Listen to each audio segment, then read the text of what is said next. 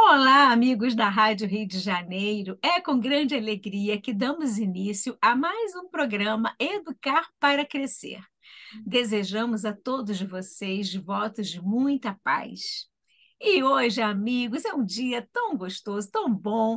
Vamos conversar sobre Evangelho, sobre o estudo do Evangelho. E para conversar sobre esse assunto tão importante, está aqui conosco a nossa querida amiga, direto de Vinhedo, em São Paulo, a professora, palestrante ah. espírita, evangelizadora Valdete Niero. Seja muito bem-vinda, Valdete.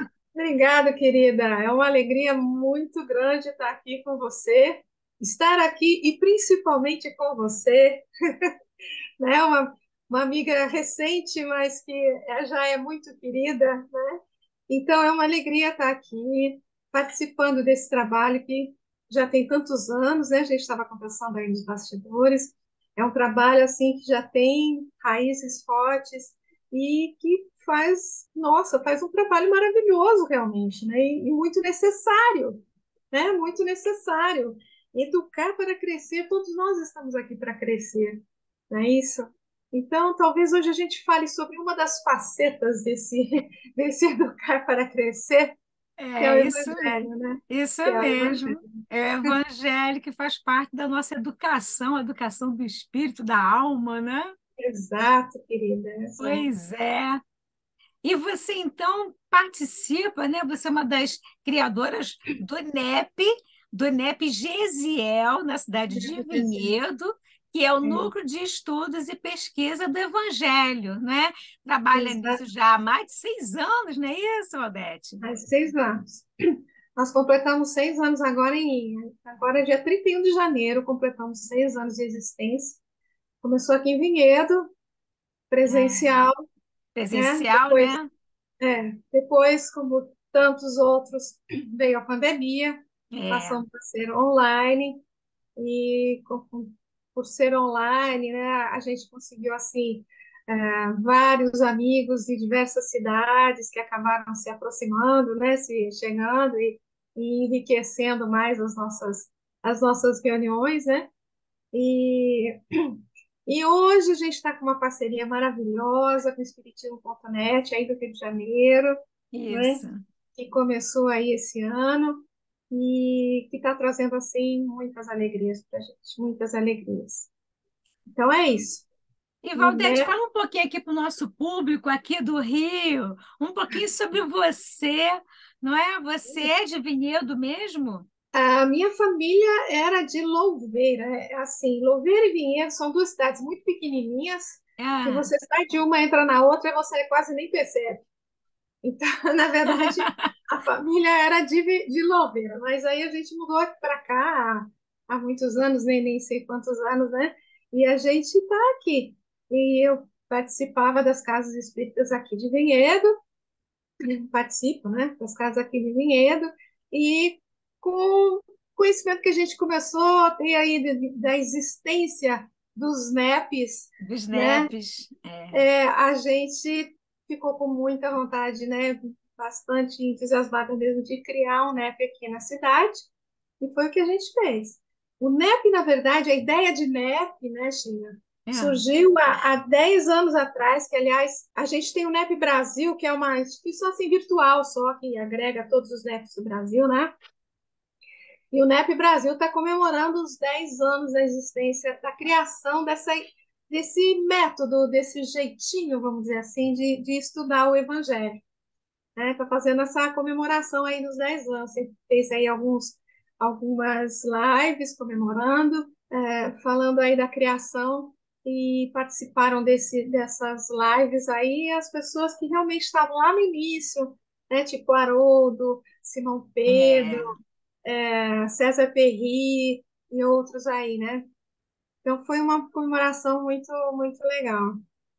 E criamos aqui, criamos aqui o NEP. É, um, é uma delícia o NEP, Sheila, é uma delícia, porque você, é, tem, a gente tem, assim, algumas dicas, vamos dizer assim, de como, é, como estudar melhor o Evangelho, né?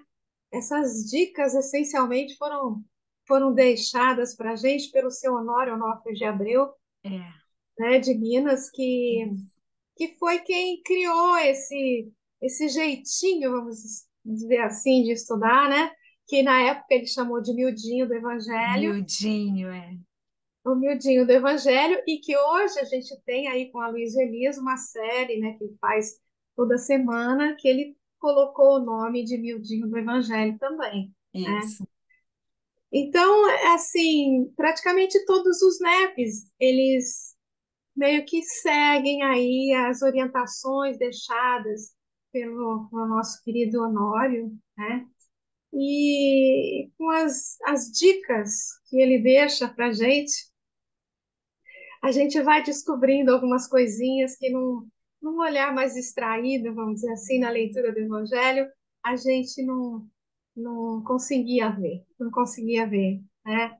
E eu me lembro até de um, texto do, do Emmanuel, que ele, eu não vou lembrar as, as palavrinhas dele, mas ele fala que não adianta você decorar um monte de versículos, saber decorar um monte de coisa, mas se aquilo não fizer palpitar o seu, seu coração, né? O livro do teu coração, né? Então, é, ele fala da, que, que Jesus se reporta a, a não, não se reporta à letra morta, né? Mas ao verbo criador. Acho muito lindo isso, falar do verbo criador. Criar, como assim criador? O verbo cria o quê, né? Cria um espírito renovado em você, né? Cria um espírito mais aprimorado, quando você consegue é, ler uma mensagem de Jesus e extrair dali realmente aquela mensagem da moral que ele deixou ali, da mensagem que ele deixou ali, para que aquilo possa fazer sentido na nossa vida, né? Não adianta a gente decorar tudo.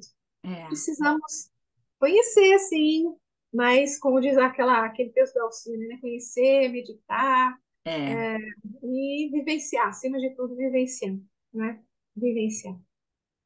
Para quem não conhece o miudinho, aí É. explica um pouquinho, a gente pode até fazer um paralelo com o próprio Emmanuel, né? Você trouxe o Emmanuel, porque ele pega um versículo, às vezes um versículo Sim. curtinho, às vezes uma palavra, e ele faz uma página, né, de estudo É. em cima de uma frase, de um versículo. Ao invés da gente ter aquele hábito de estudar o capítulo inteiro, né? É. Trazer cada versículo, estudar. Então, fala um pouquinho para a gente sobre o miudinho, para quem não conhece, e como é que funciona o estudo do NEP. Falando de Emmanuel, Emmanuel para a gente é assim, vamos dizer assim, o, o grande professor, né? É o O grande grande professor. professor do É um pai, né? Ele é, ele é professor e pai, né?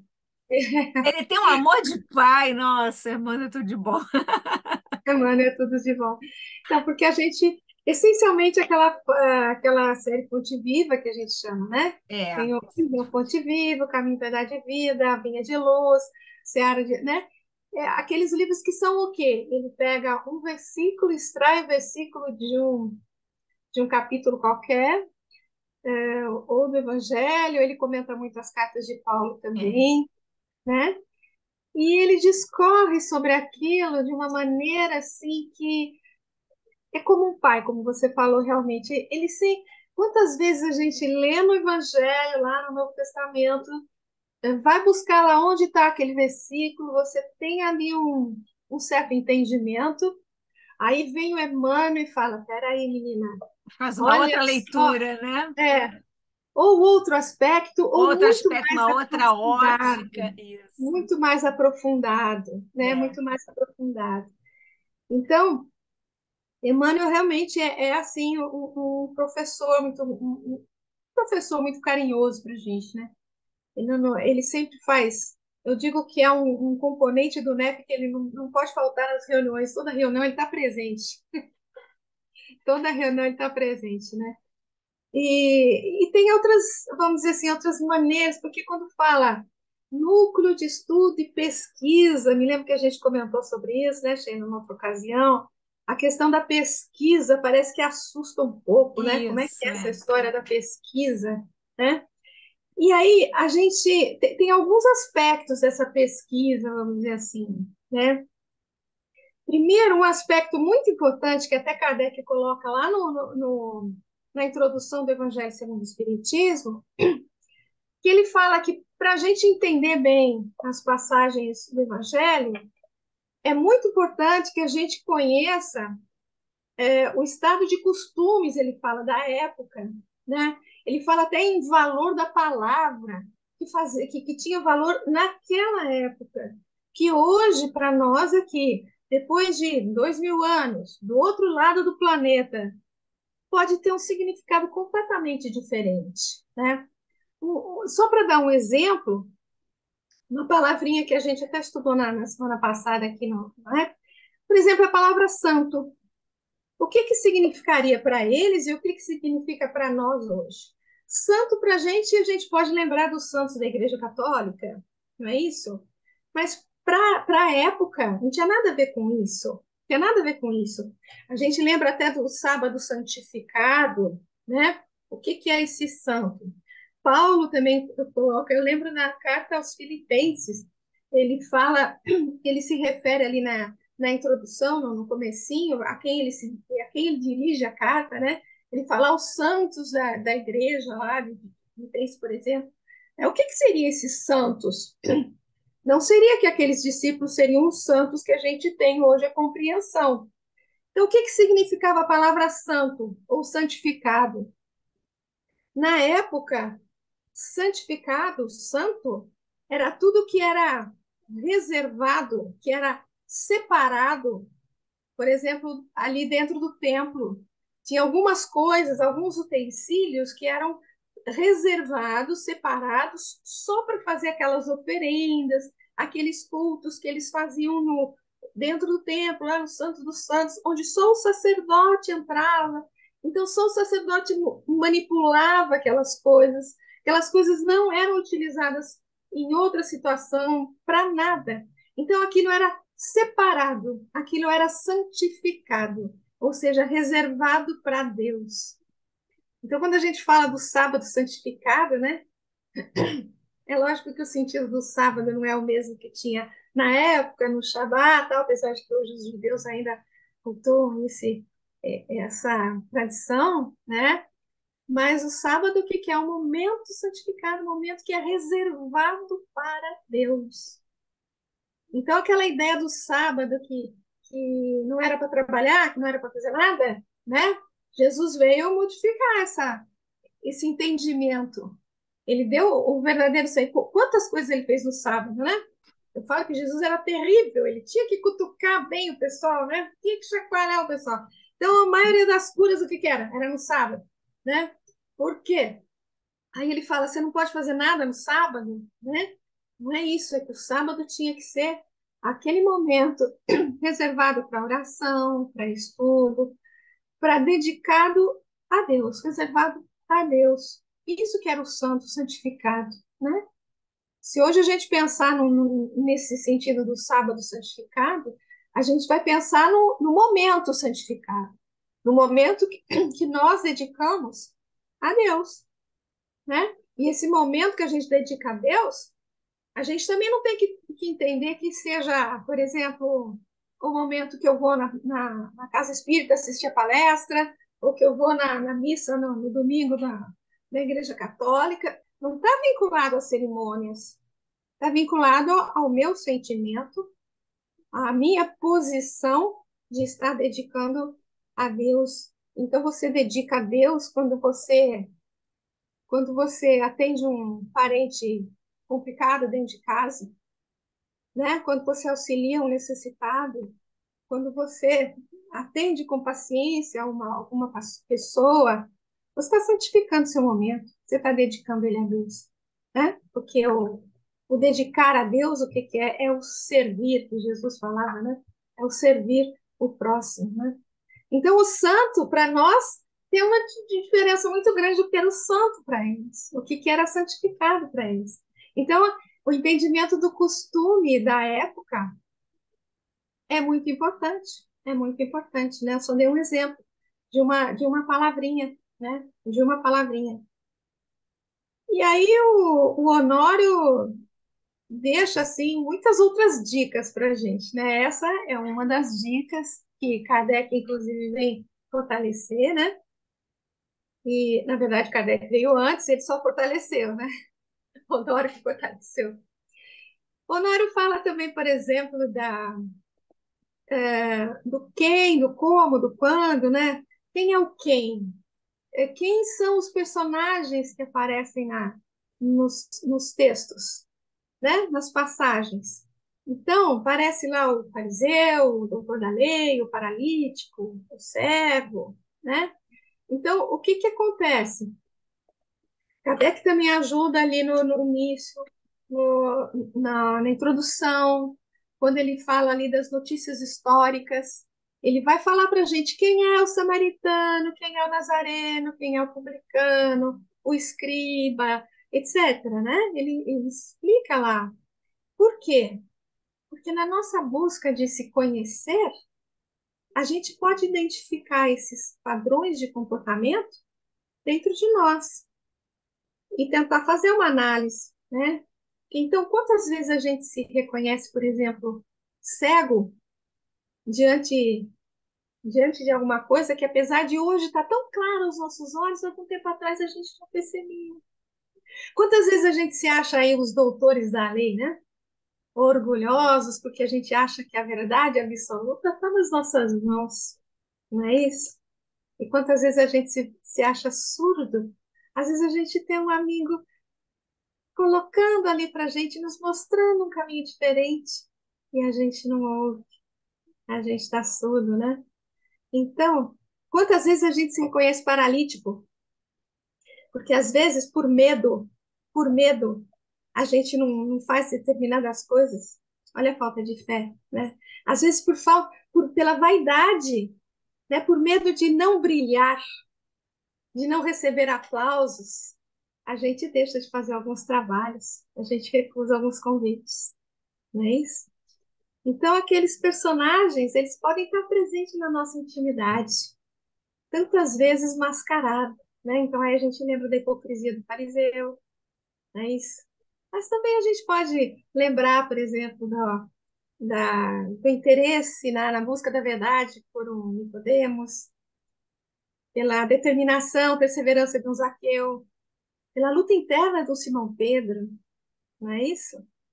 Então, buscar essas características é uma das, das regrinhas, das dicas que o Honório nos deixou, que é muito importante para a gente, é muito importante. Outra dica, Sheilinha, é analisar o cenário. Como assim o cenário? Ah, parábola do bom samaritano. O, o sacerdote descia de Jerusalém para Jericó, né? é, Jerusalém era, é tida como o, ali o templo da paz, né? Cidade da paz, cidade da luz, porque o templo estava lá. Então, segundo os, os hebreus, Deus morava lá dentro do templo.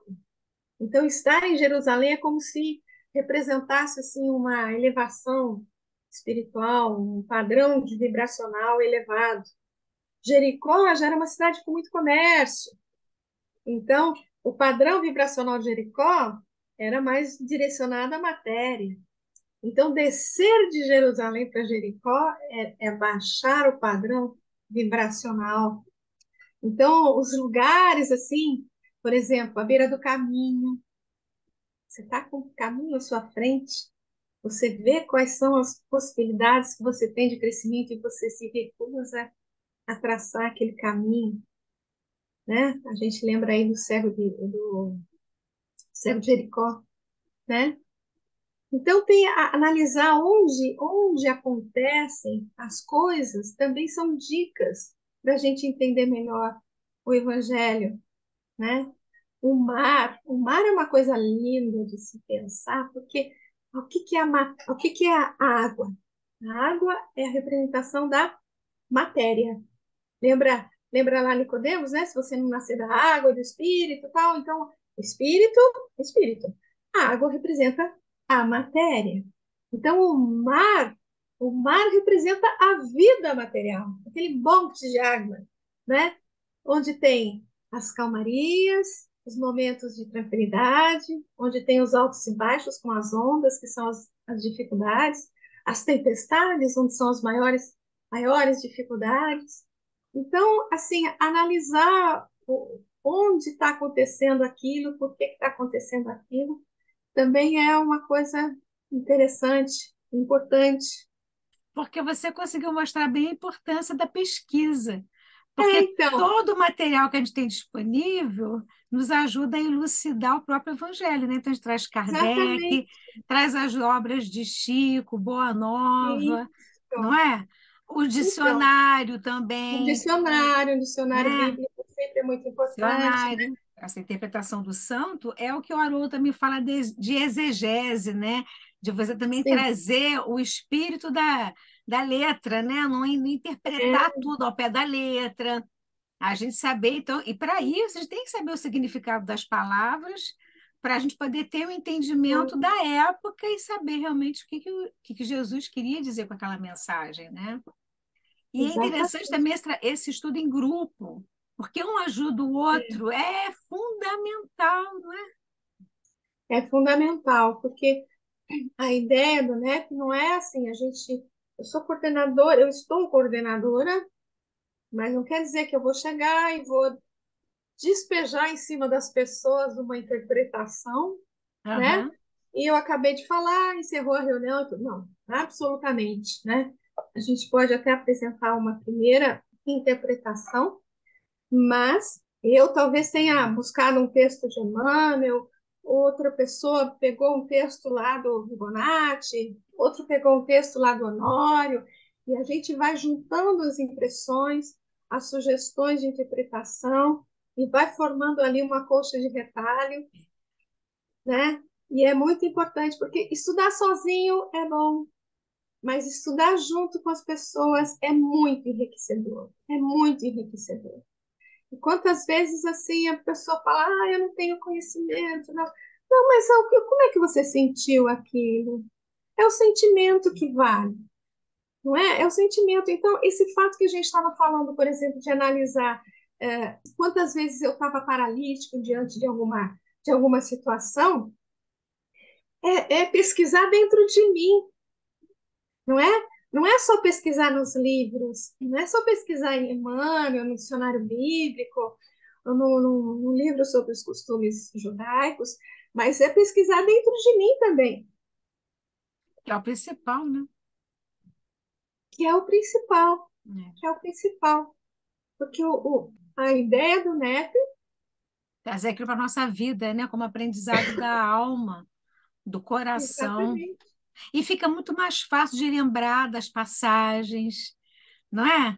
De sim, lembrar com como que aconteceu, não facilita o estudo, olha, até mesmo no dia a dia, quando acontecer alguma coisa, a gente vai lembrar da história de Jesus e vai trazer aquilo exato, como exemplo numa para ajudar alguém, para trazer uma, uma mensagem de bom ânimo para alguém. com certeza. E com relação à pesquisa também, né, a gente comentou, hoje, hoje em dia nós temos vários, vários sites que nos ajudam tanto, que às vezes a pessoa fala, ah, vou ter que comprar um monte de livro. Não, não, não tem que comprar nada, né? Tem que vir com a boa vontade, É, tem que vir com a boa vontade. Tem aqui, todo mundo hoje tem, é tudo online, né? tudo Tudo online, online. É tudo online. Então, todos têm condições de, de acessar um site, de, de buscar aí. Nós temos, eu costumo citar sempre dois sites que, que sempre ajudam muito. Um é, é o, é o, a Bíblia do Caminho, que é. tem Uhum. toda a obra do Chico, a obra inteirinha, inteirinha, inteirinha É, do Chico, né? isso Você mesmo. pode buscar pelo nome do livro ou por um tema. Tudo em PDF, a pessoa baixa, faz o Isso, download da toda obra. Toda a obra você tem não só de não só do Chico, mas também de Kardec e do Antigo Kardec. Testamento também tem ali, É, né? é muito bom esse E é, site. é muito bom, é muito É, bom, é muito, de- é muito fácil você acessá-lo, de você consultar, é muito, muito, muito, muito simples. E a gente tem o NetSearch também, Uhum. que é um, é um site, search, né? É S-E-A-R-C-H, De NEP procura, né? Search de de procura, procurar exato. em inglês. É. Isso, exatamente. Ele foi criado por um amigo muito querido, que é o Jonas Poli, de Araraquara. E a gente estava comentando que o Jonas criou esse, esse site a princípio de uma maneira assim bem, bem Sem simples. compromisso, simples. Sem compromisso, sim, é, sem compromisso é o termo. Para ajudar um amigo é. que estava com dificuldade de, de, de achar as coisas na internet, que não, não tinha muitos livros tal. E depois a coisa foi. E o, o Jonas, ele faz parte do NEP Francisco de Assis, lá de Araraquara também. E, e aí, junto com o NEP, ele começou a, a caprichar um pouco mais, vamos dizer assim, naquela coisa descompromissada. Foi acrescentando, acrescentando. Hoje a gente tem um site maravilhoso, maravilhoso, e todos os NEPs é, pesquisam ali, né? Que ótima dica! Muito, muito, muito. Ele, ele tem assim uma quantidade imensa de, de livros espíritas, de comentários bíblicos, de dicionários bíblicos, dicionário interlinear, enfim, uma infinidade, eu nem sei, nem sei te dizer tudo, talvez, que, que tenha nesse, nesse site, porque ele é, ele é maravilhoso. Tem, ah, tanto você pode pesquisar em várias Bíblias diferentes também, né? Tem muitos comentaristas é, é, bíblicos, então é, você você pode procurar ou pelo capítulo, pelo versículo que você quer, ou por um tema que você queira você queira pesquisar na Bíblia, ou que você queira pesquisar nas obras espíritas. Enfim, é uma possibilidade muito, muito boa, imensa, Olha, que ajuda bastante todos os NEPs. Para quem quiser procurar, os, o endereço do site é nepe wab, é w-a-b.com.br. nep, N-E-P-E, ponto w-a-b.com.br, que é o NepSearch. É o NepSearch. É. É uma ferramenta maravilhosa para gente, a gente trabalhar aí nos NEPs. É só, é só colocar aqui, olha, tem leia a Bíblia, aí você coloca o nome é. do livro, pesquise na Bíblia, obras espíritas, referências, dicionários, temas, autores espíritos, e aí por assunto você pode fazer a pesquisa, né? tem o canal do YouTube ainda que explica também. E para quem quiser, também tem o NEP Brasil, né? Quem quiser. NEP Brasil. É, NEP Brasil, tudo junto.org. E Valdete, fala para a gente como é que a pessoa pode é, fazer o seu próprio NEP, construir o seu, o seu grupo de estudos, se vocês dão algum apoio, como é que a pessoa pode fazer, quem estiver interessado? Com certeza, gente, com certeza.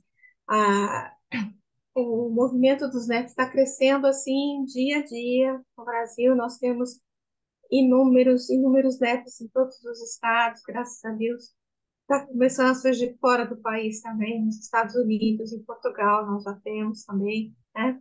Da mesma forma que, que Kardec fala, né, que é, a ideia não, não é uma instituição gigantesca, mas que, que, que apareçam várias, não é?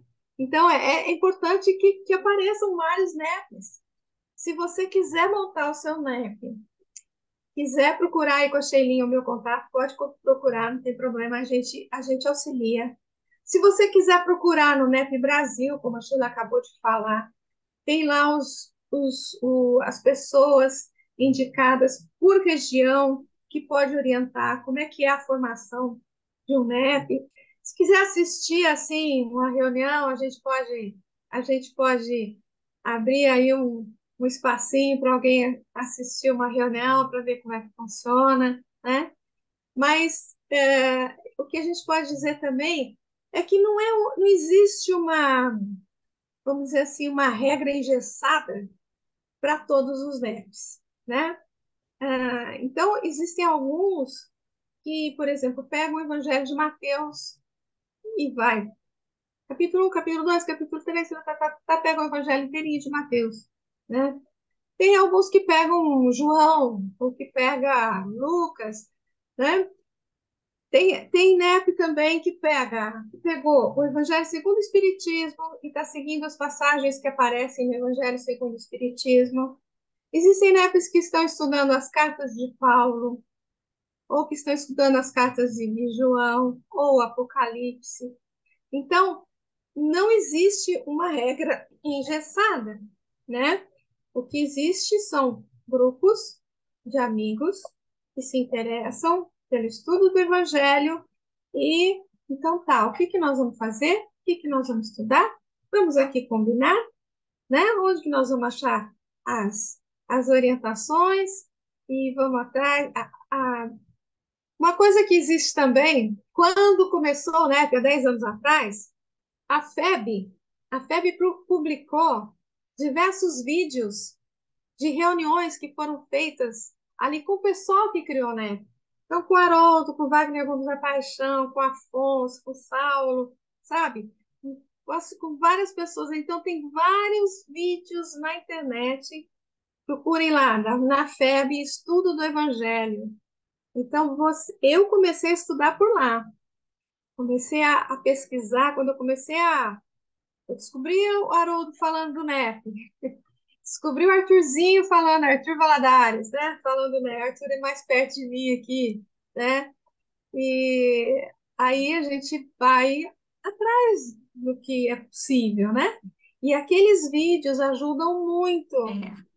para quem gostaria de montar o seu NEP, né? Pode entrar em contato com o pessoal do NEP Brasil, que tem em, em todas as regiões tem pessoas que orientam como fazer, como, como o que, o que puder ajudar para montar, né? É, no YouTube, é NEP Brasil mesmo, no YouTube. E tem o de vocês, né? O NEP Gesiel no YouTube também. Vários vídeos. É. Tem. Temos vários vídeos. É. E temos na quinta-feira, a gente faz um trabalho toda quinta-feira, que é o Papo de NEP. E a gente convida pessoas de outros NEPs. É, Papo de NEP, isso.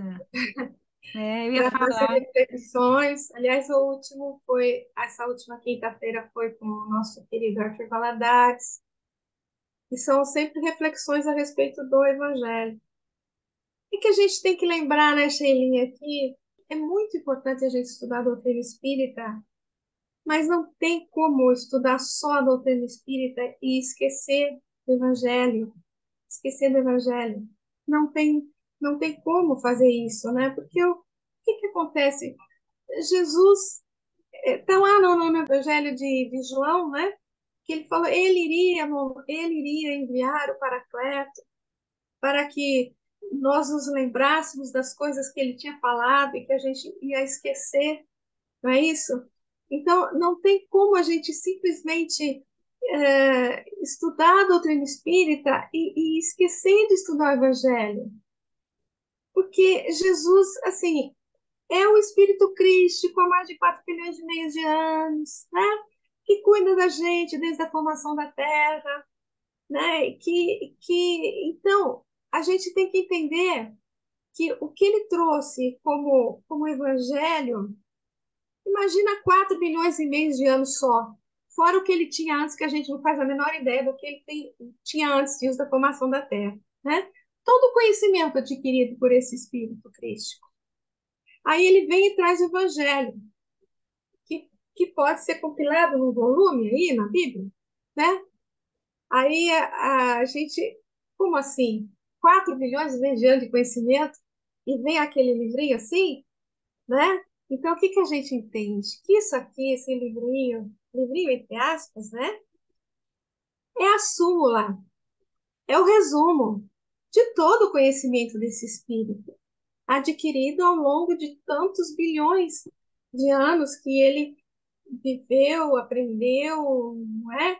Adquiriu conhecimentos. Então, a nossa a nossa missão, se é que eu posso dizer assim, é ir desvendando esses destrinchando essa súmula, esse resumo, não é isso?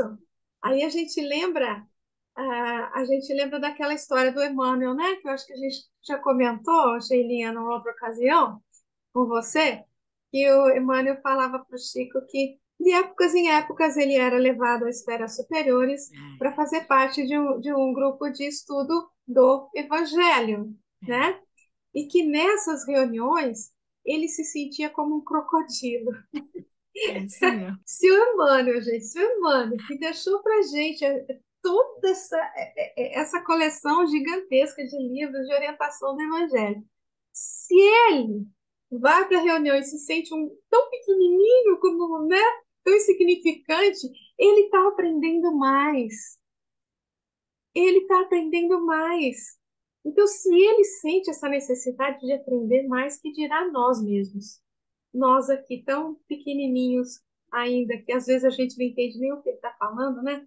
Que dirá o que ele está aprendendo lá nas esferas superiores.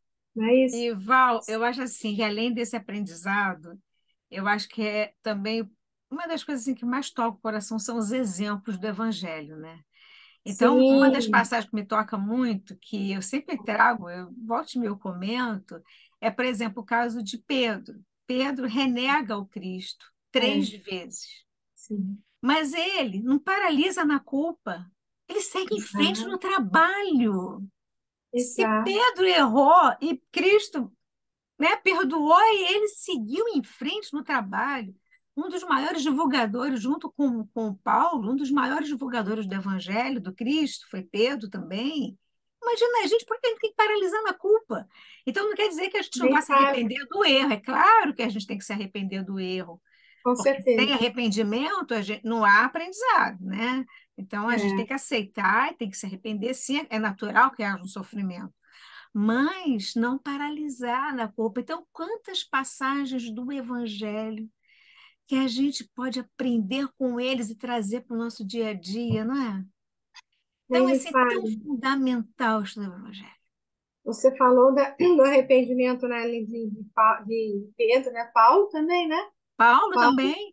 A hora que Isso, ali Paulo na estrada de Damasco, né? na, na estrada de Damasco, Damasco, ele, ele cai na hora, ele na cai. hora, ele pergunta, que queres que eu faça? Que queres que eu faça? Que queres que né? eu faça? Ele reconhece, eu digo que, não é que ele ficou é? cego, ele até arrepia, né? cego, né? É. Ele se reconheceu cego, né? Porque... Isso. Porque, porque tudo que ele fez, né? E assim, eu, eu, eu comento também, porque Paulo às, às vezes a gente fala da questão do. É, porque Jesus fala que Paulo era o, o seu vaso escolhido, né? É, é. Tem a, aquela passagem do muitos são os chamados, poucos os escolhidos. É. A gente vai entendendo que escolhido não é que é escolhido por Deus, você que se transforma num escolhido, você que se trans, você que escolhe seguir. Muito bem falado, né? Val. Né? Você que escolhe aquela, aquela opção de vida, aquela Isso. opção. Né? É. Então, quando Jesus fala, ah, ele é o meu vaso escolhido, parece que Jesus escolheu ele. Né? Mas não, porque Paulo caiu ali, reconheceu que ele era o Cristo, mas Paulo podia ter falado assim: tá bom, legal, já entendi que você é o Cristo, tá bom, tudo bem, não vou mais perseguir os cristãos, mas, cara, eu tenho a minha posição, sabe? Eu tenho dinheiro, eu sou assim politicamente, eu, eu tenho meu cargo, minha posição, eu vou continuar na minha, cara. Vai na tua que eu fico na minha. É. Não é verdade? Não. Ele não, não foi nada disso que ele fez, ele abandonou tudo. Ele escolheu, ele se tornou o escolhido. A gente tem que se colocar em posição para sermos os escolhidos do Cristo, mas a gente tem que ser, gente, nós temos que dar o nosso melhor, né? Exatamente. A gente tem que fazer a nossa transformação interna. Nossa, muito bom mesmo. E ao mesmo tempo, né, Jesus é tão misericordioso que que sempre sempre coloca do nosso lado alguns alguns anjinhos, vamos dizer assim. Eu lembro do caso, sabe o quê? De, de Publio Lentus, né? o Violentos, aquele senador tão orgulhoso, né? Mas Deus, Jesus pôs do lado dele a Malívia. Eu ia falar isso, o papel das mulheres ao longo da história. Abigail, Abigail, Lívia, Maria, Madalena, gente, é. Joana, papel dessas mulheres ao longo da história, né? Como a gente aprende com esse amor, não é? Nem me fale. Então a Lívia ficou ali do lado dele por acho que é. não sei quantos anos, 30 anos, sei lá quantos, né, aceitando aquela, aquela aquela condição ali de, de uma injustiça muito grande, uma calúnia que foi feita, né, para ela, mas depois Públio reconhece todo o trabalho dela, né, toda a posição dela, e, e é graças a ela que, que o público, o Públio se torna também o, o, o Emmanuel que a gente conhece hoje, né? É. As mulheres realmente, olha, Célia, né? Célia, Célia, nossa, é, muito já que você está legal. falando das mulheres, viu?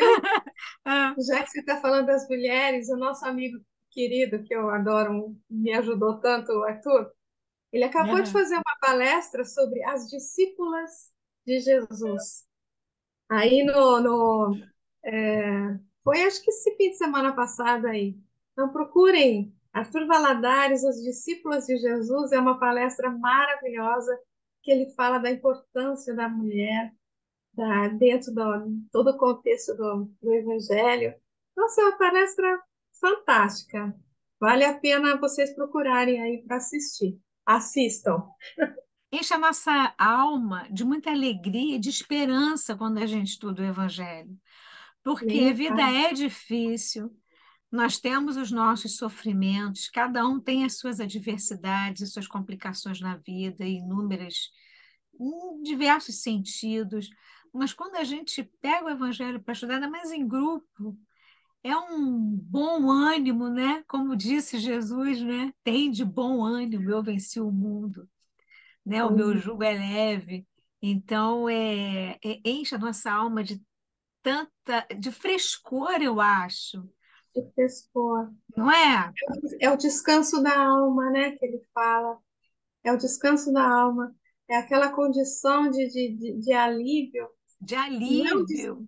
não é, não é o descanso do corpo, né? O corpo é outra coisa? É, é Mas é aquela, aquela sensação de consciência tranquila, isso, de porque consciência serena. por mais adversidade que a gente tenha no dia a dia, a paz do espírito, que o Jesus sempre fala, né? Que a paz esteja convosco, essa paz do Mestre. E a gente sente que a gente não está sozinho, então fica o convite, não é, Val, desse estudo, Você, não é? você me faz lembrar de uma passagem lá do Paulo Estevam, Ah, quando Paulo estava tava indo para Damasco, né? Ele estava refletindo, porque uma das coisas que ele almejava tanto era essa paz de espírito, que ele não conseguia. Ele tinha tudo o que podia sonhar um, um jovem daquela época, mas ele não tinha essa essa serenidade, essa paz de espírito, né? Que ele inclusive via nos cristãos que ele havia perseguido, que morriam nas arenas, no próprio Estevão, né? Que, que, que enfrentou toda aquela situação e, e, e e pede para Jesus perdoar ele. Imagina que, não não considera como, como um algoz, né? Ainda fala para Abigail, ele deve ser uma pessoa muito boa, porque ele defendeu Moisés até o fim. Imagine quando ele conhecer Jesus, o que, que ele vai fazer? né? Então, ele fala isso, Estevão fala isso para ele, né? E morre serenamente. E então ele, ele aquilo o incomodava demais e ele vai refletindo sobre aquilo. Né? Então era uma serenidade que ele buscava, que ele via naqueles cristãos e que ele não tinha dentro dele. Ele só vai conseguir realmente essa serenidade depois de, de muita luta, muita luta interna. Mas ele vai conseguir essa serenidade junto com o Cristo, né? Junto com, com o Evangelho. ai, Porque nossa, você falou das dificuldades, né, que a gente enfrenta. Aí vamos orar. Aí você não vai orar. As dificuldades vão ser as mesmas. Vão ser as mesmas. Mas você vai ter mais forças, estando vinculado com o Evangelho, com o alto, você vai ter mais forças, você vai ter ombros fortes mais serenidade, né? e mais serenidade, entendendo que tudo aquilo passa, como É, nos, nos orienta a doutrina, né? Que tudo passa. Tem até uma passagenzinha do, do, do Chico, né?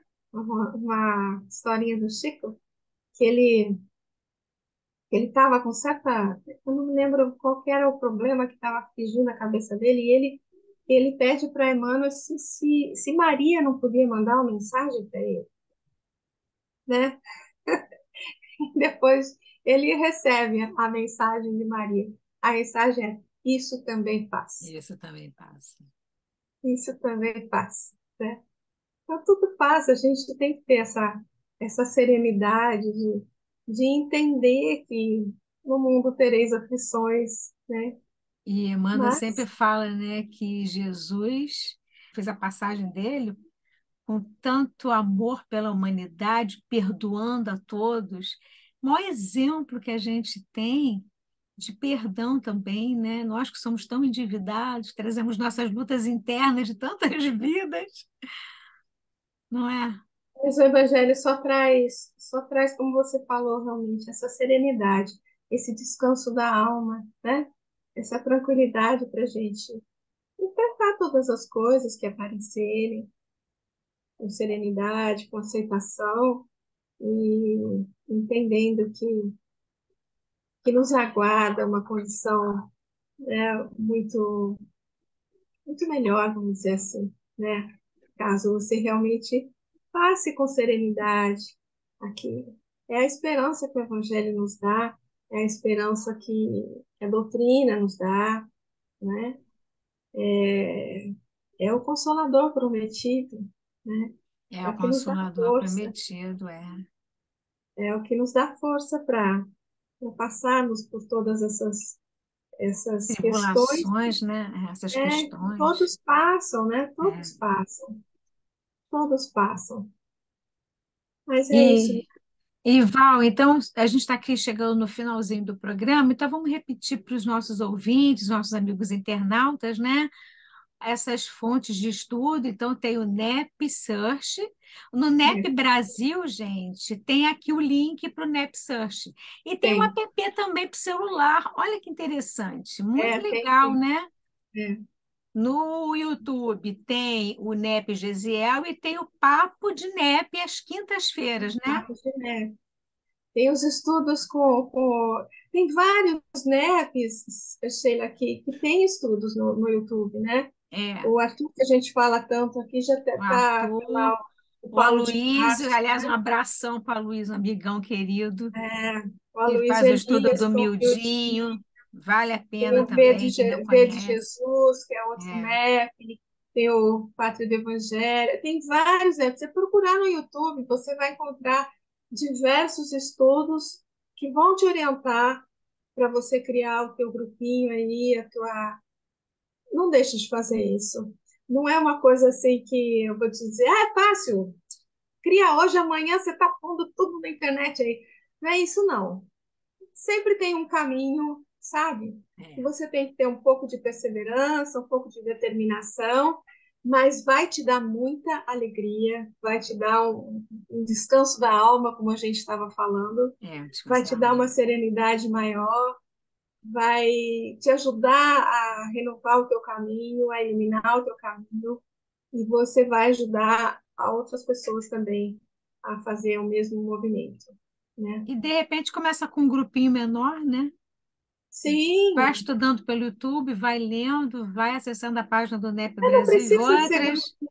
Né? Vai fazendo um grupinho grande, pequeno, não. convida os amigos ali mais chegados e a coisa naturalmente vai crescendo, esse grupo vai crescendo. Afinal das contas, Sheila, Jesus não disse que onde dois ou mais se reunissem em nome dele, ele estaria junto? Ele estaria então, junto. se tiver mais um além de você, já está é. bom.